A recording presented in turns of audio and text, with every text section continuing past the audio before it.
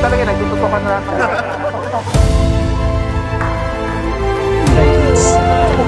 Very good.